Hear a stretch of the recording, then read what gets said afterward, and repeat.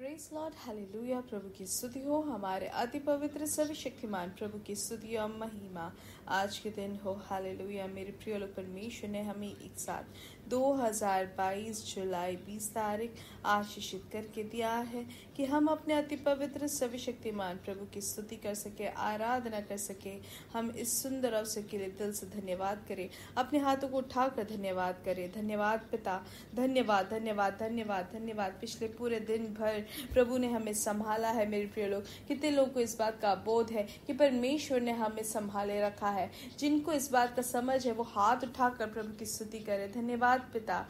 धन्यवाद धन्यवाद धन्यवाद। रात को कितने लोग सोए और सोने की कोशिश करते रह गए, लेकिन वो सोते नहीं पाए। लेकिन हर एक परेशानी से परमेश्वर ने हमें बचाए रखा और अच्छी नींद दी।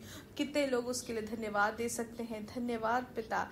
धन्यवाद धन्यवाद धन्यवाद। आरोग्य के साथ, चंगाई के साथ उठने का परमेश्वर ने हमें हमें ये कृपा दी उसके लिए धन्यवाद पिता। धन्यवाद धन्यवाद। इस बात का जिनको बोध है, वो अपने हाथ उठाकर स्तुति करे। स्तुति हो पिता, स्तुति हो स्तुति हो। हाल आपकी बड़ी कृपा के लिए धन्यवाद पिता। आज के दिन आप हमें अद्भुत तरीके से चलाएँगे आपके प्यार हमारे ऊपर प्रबल है, उसके लिए धन्यवाद धन्यवाद। प्रभु, आप हमारे आगे, पीछे, चारों तरफ़ से आपने हमें संभाले रखा है। अपने स्वर्ग दूतों को भेजकर हमारी रखवाली आप करते हैं, उसके लिए धन्यवाद पिता। धन्यवाद धन्यवाद धन्यवाद धन्यवाद। हालेलुया।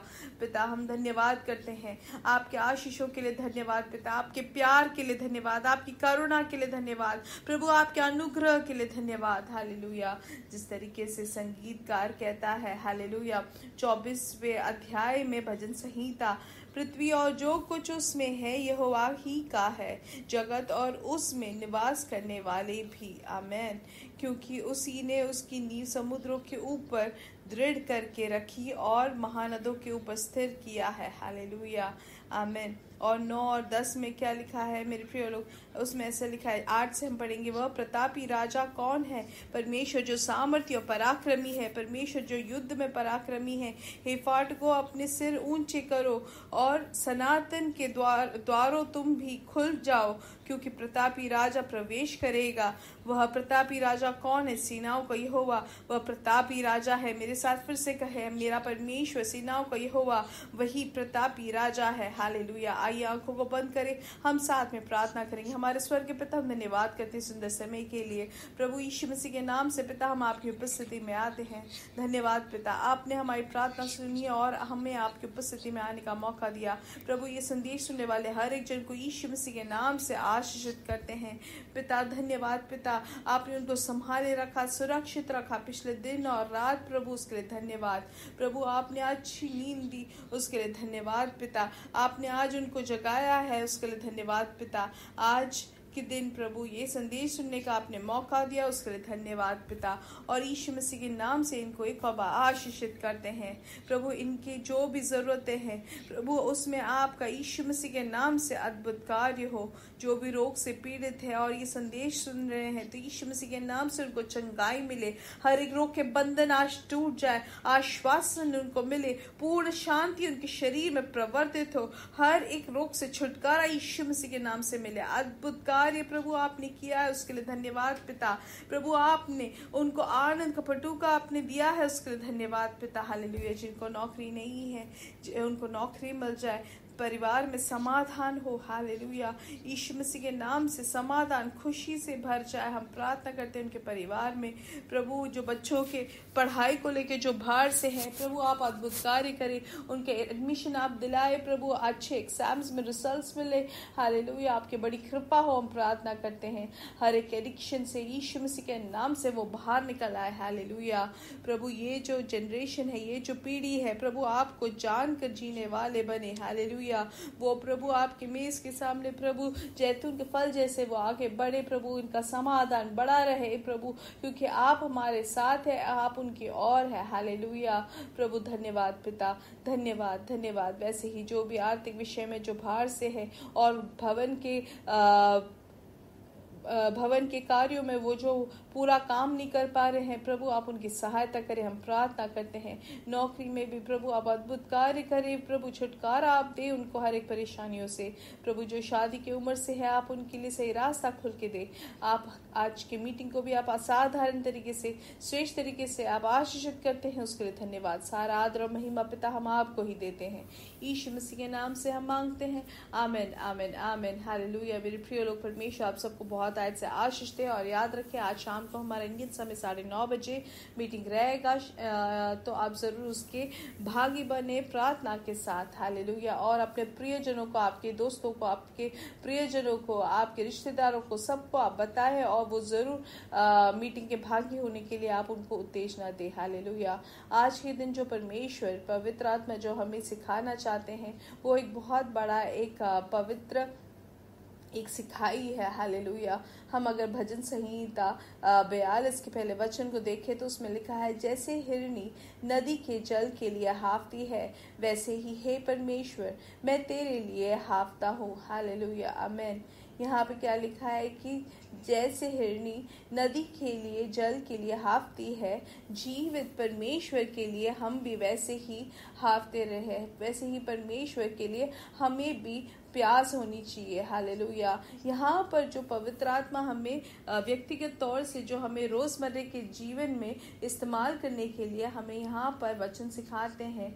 हम देख सकते हैं कि हमारा परमेश्वर यीशु मसीह जो है, धन्य वचन में कहते हैं कि अगर तुम पूछोगे तो परमेश्वर तुम्हें देगा, तुम खटखटाओगे तो परमेश्वर तुम्हारे लिए खोल के देंगे, मांगोगे तो तुम्हें मिलेगा, हालेलुया। लेकिन ये वचन पूरा होने के लिए हमें एक प्यास होना ज़रूरी है। परमेश्वर से एक इच्छा होनी चाहिए कि मुझे परमेश्वर के लिए कुछ करना है, परमेश्वर से मुझे कुछ पाना है। जैसे कि उदाहरण के लिए अगर हमें प्यास लगती है तो हम कैसे न कैसे पानी पीने की कोशिश करते हैं। अगर यात्रा भी कर रहे हो, अगर हमें बहुत प्यास लग गए तो हम गाड़ी रोक के भी कैसे, किसी न किसी तरीके से हम पानी पीने की कोशिश करते हैं। कहीं से खरीद लेंगे या कुछ तो करेंगे, वैसे ही परमेश्वर की प्रवृत्ति को देखने के लिए, परमेश्वर की प्रवृत्ति को अपनाने के लिए, अनुभव करने के लिए हमें एक प्यास होना ज़रूरी है। हालेलुया जिसे वचन में कहते हैं, जीवित ईश्वर, परमेश्वर का मैं प्यासा हूँ। मैं कब जाकर परमेश्वर को अपना मुँह दिखाऊँगा? हालेलुया यही इच्छा, यही एक प्यास हमें होना चाहिए कि हम जीवित ईश्वर, परमेश्वर का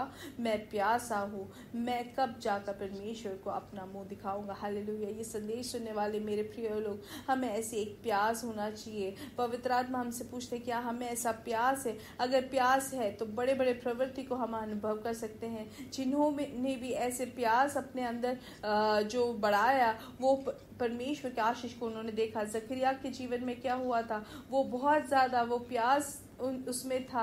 वो और इसलिए वो क्या करता है, वो सिकमर के जो पेड़ है, उसमें तक वो चढ़ के बैठ गया कि वो कैसे, किसी न तरीके से यीशु मसीह को देख ले। और वहाँ पे परमेश्वर उसका प्यास सिर्फ़ उसको बुलाकर ही, उसका प्यास नहीं बुझाया, लेकिन उसके घर तक जाके उसको आशीष दी। हाल इसलिए हमें ऐसे प्यास होना चाहिए। परमेश्वर से हम पाने के लिए, परमेश्वर की आवाज़ को सुनने के लिए परमेश्वर को देखने के लिए हम देख सकते हैं, जैसे कि रक्त के बहाव से जो पीड़ित थी। बारह साल से वो हर एक उस जो बड़ी भीड़ थी, उन सबको सामना करते हुए वो जाती है यीशु मसीह को छूने के लिए। उसकी इतनी बीमारी के बीच में भी वो वहाँ पर परमेश्वर को, वो छूने जाती है, वो उसका प्यास दिखाता है। हमें इसलिए देखना है मेरे प्रिय लोग कि क्या हमें भी ऐसे प्यास है। हमने, लेकिन काफ़ी बार क्या होता है, सोने में हमें ज़्यादा प्यास रहती है और अगर ठंड भी हो तो और मज़ा आता है सोने में। बिस्तर में और लपेट के हम सोने की कोशिश करते हैं, लेकिन मेरे प्रिय लोग, हमें देखना है कि हमारा जो ध्यान है वो किस पर है? इस दुनिया की चीज़ों पर या परमेश्वर की ओर? हम जैसे उदाहरण के लिए अगर देखें कुछ कुछ देशों में जहाँ पानी का बहुत कमी होता है और उनका एक कुछ समय होता है कि वो उसी समय में पानी मिलता है तो वो सुबह सुबह जाके वो वहाँ बैठ जाएँगे पानी पकड़ने के लिए। वैसे ही दूसरे उदाहरण के लिए, रेलवे स्टेशन में एक समय ऐसा होता था कि एक एक स्टेशन में एक एक कोटा मिलता है कि इतने ही सीट यहाँ से मतलब दस सीट होगा या सात सीट होगा और वो मिलने के लिए लोग क्या करते हैं, एक दिन, एक रात पहले ही वो जाके टिकट काउंटर के सामने सो जाते, ताकि सुबह जब काउंटर खुलता है तो सबसे पहले वो सामने खड़े रहे और उनको वो टिकट मिल जाए। वैसे ही प्रभु में हमें कुछ पाने के लिए, प्रभु को जीवित परमेश्वर से पाने के लिए, उनको देखने के लिए पवित्र आत्मा में आगे बढ़ने के लिए, परमेश्वर की सामत को अनुभव करने के लिए, परमेश्वर के आरोग्य को प्राप्त प्राप्त करने के लिए हमें प्यास होना चाहिए। परमेश्वर के राज्य में कार्य करने के लिए हमें वो प्यास होना चाहिए। अगर वो प्यास होगी तो ज़रूर निश्चय तौर से परमेश्वर हमारे प्यास को बुझाएगा। मेरे प्रिय परमेश्वर हमारे प्यास को पूरा करेगा। हमें काफ़ी बार चिंता होती है, सोच होती है, लेकिन हमें प्यास होना ज़रूरी है। इसलिए मेरे प्रिय लोग, परमेश्वर के लोगों हमें परमेश्वर से पाने के लिए, परमेश्वर की ओर बैठने के लिए, परमेश्वर से करीब होने के लिए हमें प्यास होना ज़रूरी है, हमें इच्छा होनी चाहिए। अगर ऐसे होगा तो फिर हम और कुछ नहीं कर पाएँगे। हम फेसबुक या यूट्यूब या ये सब करते हुए हम समय नहीं निकालते हुए बैठेंगे। लेकिन परमेश्वर के पास बैठने के लिए, परमेश्वर से प्राप्त करने के लिए हमेशा हम प्यास से रहेंगे और उनकी उपस्थिति में हम बने रहेंगे। हाल जैसे संगीतकार कहता है कि हिरनी नदी के जल के लिए हाफती है, वैसे परमेश्वर के लिए, तेरे लिए मैं हाफता हूँ। हाल हमें भी वैसे ही, मेरे प्रिय लोग प्यास होना चाहिए कि परमेश्वर की उपस्थिति को मुझे अनुभव करना है। और वही चीज़ हमें प्रेरणा देती है कि हम परमेश्वर के साथ बैठ सके, हम प्रार्थना करने के लिए बैठेंगे सुबह सुबह हो या रात को हो। हाँ ले वो फिर से दिखावे के लिए नहीं रहेगा। वो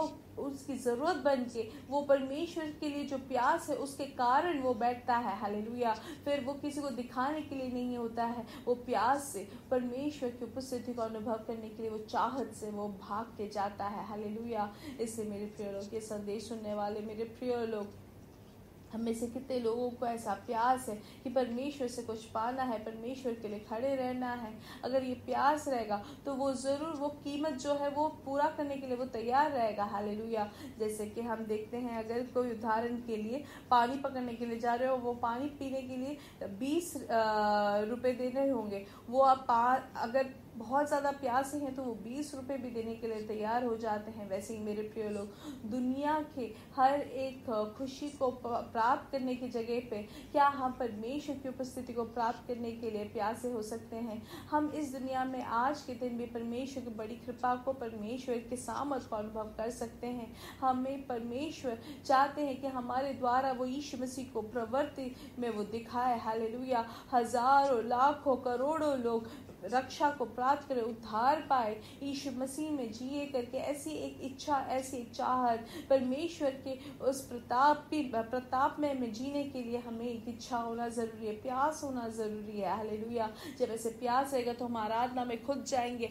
हम खुद प्रार्थना में बैठेंगे, हम खुद परमेश्वर की उपस्थिति को खोजते हुए बैठेंगे। हालेलुया। मेरे प्रिय लोग, इसलिए आज के दिन जब ये संदेश हमें मिलता है तो हम अपने आप को समर्पित करें कि परमेश्वर को पाने के लिए, परमेश्वर से करीब रहने के लिए हमें भूख होनी चाहिए, हमें प्यास होनी चाहिए और इसी प्यास के साथ आज शाम की मीटिंग में भी हम भागी होंगे। मेरे साथ कहीं यीशु मसीह के नाम से हम बढ़ेंगे और बढ़ेंगे और बढ़ते ही जाएँगे और उनकी महिमा को प्रकट करेंगे। We are blessed we are really blessed and we are permanently blessed and highly favoured God bless you God bless you God bless you